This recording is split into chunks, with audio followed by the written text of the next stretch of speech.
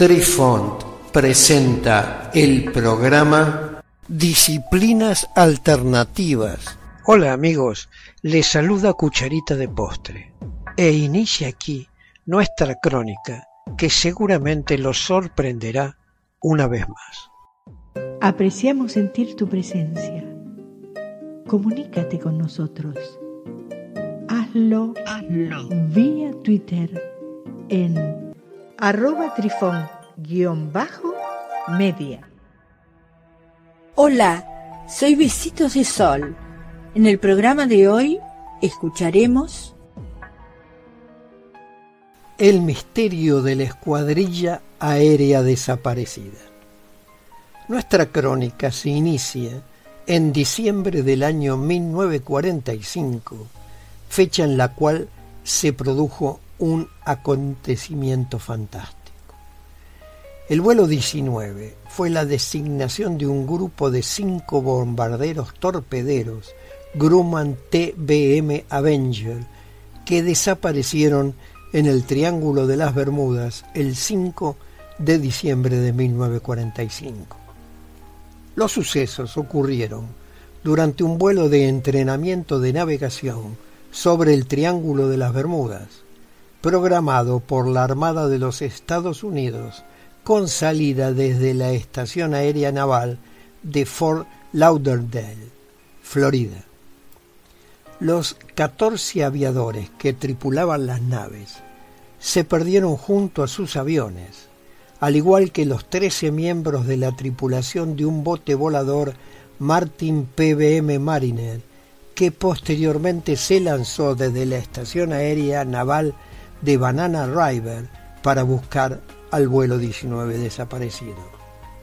Cuando se encontraban frente a las costas de Florida, a media tarde, en un vuelo de rutina que debía conducirlos 250 kilómetros al este y 60 kilómetros al norte, se produjo repentinamente el hecho antes de que regresaran a sus bases. El líder del vuelo era el teniente de la Armada de los Estados Unidos, Charles Carroll Taylor, quien tenía aproximadamente 2.500 horas de vuelo, principalmente en aeronaves de este tipo.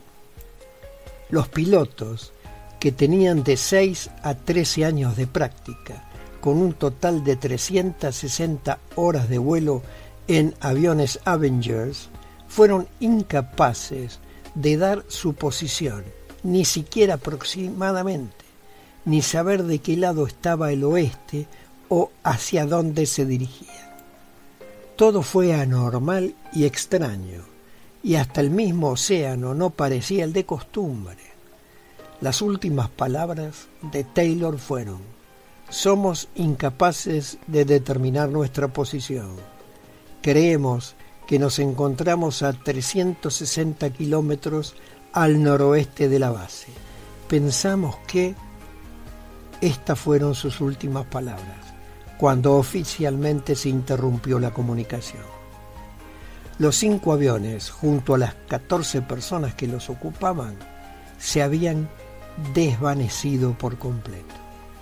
Durante la noche, 300 aviones de salvamento y más de una veintena de barcos de guerra, entre ellos el portaaviones Salomon, participaron en las operaciones de búsqueda. Por si fuera poco, los navíos de la base inglesa más próxima se unieron a ellos.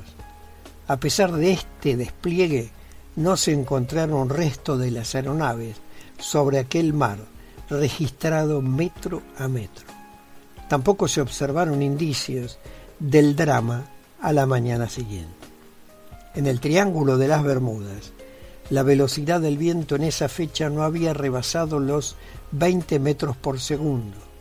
Además, los aviones volaban a mucha altura en el momento de su desaparición, para que un fenómeno meteorológico normal les hubiese alcanzado.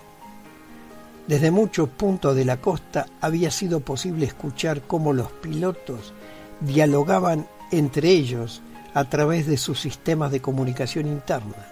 Se hacían preguntas realmente extrañas. algo había perturbado a todos los instrumentos de a bordo de los aviones y redujo los aparatos de radio a silencio o a un alcance muy limitado.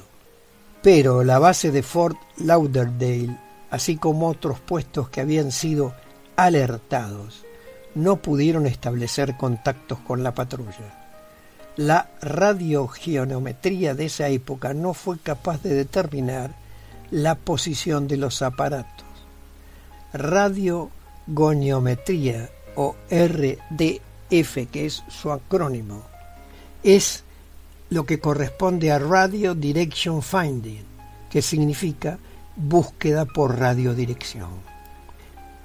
Es la denominación que la Real Fuerza Aérea RAF y su Consejo Aeronáutico para la Investigación y Desarrollo establecieron para denominar un sistema de detección electrónica de largo alcance. Más tarde sería denominado radar, que es el acrónimo de Radio Detection and Ranging. El dramático diálogo entre los pilotos duró aproximadamente 50 minutos. Algunos de estos relatos parciales son un miembro de la tripulación no identificado le preguntó al capitán E.J. Powers, piloto del avión FT-36, su lectura de la brújula, y éste respondió, no sé dónde estamos, debemos habernos perdido después de este último turno. Apareció un tripulante hablando identificado como FT-28, que era Taylor, respondiendo una pregunta que le hace otro aviador. FT-28, ¿cuál es tu problema? a lo que respondió, mis dos brújulas están apagadas y estoy tratando de encontrar Fort Lauderdale en Florida. Estoy seguro de que estoy en los Cayos, pero no sé qué tan abajo y no sé cómo llegar a Fort Lauderdale. A su vez, el hidroavión que fue a buscarlos desapareció 25 minutos más tarde. Por tanto, el fenómeno duró algo más de una hora. Un fenómeno inimaginable que tarda una hora en desarrollarse y que resulta completamente invisible. Luego de ese tiempo, voló sobre los lugares del acontecimiento un nuevo avión de socorro, y este sí que no desapareció. El capitán Humpery, encargado de la seguridad aérea, realizó el informe de lo que sucedió de 500 páginas publicado unos meses más tarde, donde hizo varias observaciones sin comprometerse, diciendo, no creemos que haya existido una aberración atmosférica en esa región, ni que haya existido en el pasado. Una escuadrilla no se estrella por causas desconocidas. Una patrulla no desaparece sin dejar restos esparcidos en el mar ya que cada aparato iba provisto de canoas neumáticas, de inflado automático y de chalecos salvavidas. Y finaliza haciéndose esta pregunta. ¿Cómo es posible que no se encontrara ningún resto, ningún superviviente? Los aparatos habrían debido flotar lo suficiente como para que se vieran cuando llegaron los socorros al lugar del conflicto su estructura fue concebida con este fin. Resulta extremadamente curioso que no dejasen huellas del accidente ninguno de los cinco Avengers. Este informe fue posteriormente corregido como causa de desaparición desconocida por la Armada. Esto ocurrió después de que la madre de Taylor sostuviera que la Armada estaba culpando injustamente a su hijo por la pérdida de cinco aviones y 14 hombres, cuando la Armada no tenía ni los cuerpos ni los aviones para exhibir como evidencia.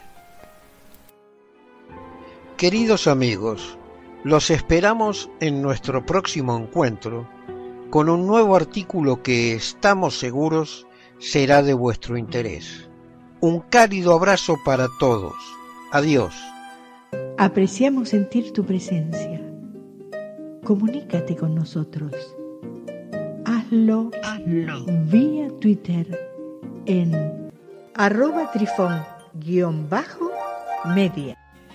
Este episodio lo encuentras en Anchor, Spotify y en tus plataformas favoritas. Hasta siempre amigos. Besitos de sol y cucharita de postre les dicen gracias por pensar.